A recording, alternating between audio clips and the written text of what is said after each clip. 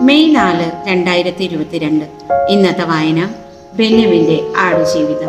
Page number നൂറ്റി മുപ്പത്തി മൂന്ന് ഞാൻ എത്രയോ ദിവസങ്ങളായി വെറും നിലത്ത് കിടന്നാണ് ഉറങ്ങിയിരുന്നത്.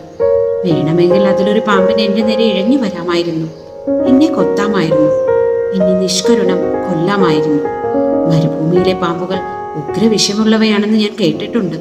പോകുന്ന വഴി ഒരു ചെറു സ്പർശം മാത്രം മതി എന്റെ ജീവിതം അവസാനിക്കാൻ. പക്ഷെ ഒരു പാമ്പും എന്നെ തേടി വന്നില്ല. ഞാൻ അവിടെ കിടക്കുന്നതറിഞ്ഞ് അവ വഴി മാറിപ്പോയിരിക്കണം. കരുണാമയനായ അള്ളാഹു എല്ലാം നിശ്ചയിച്ചിട്ടുണ്ട്. അപ്രകാരമേ എന്തും നടക്കും.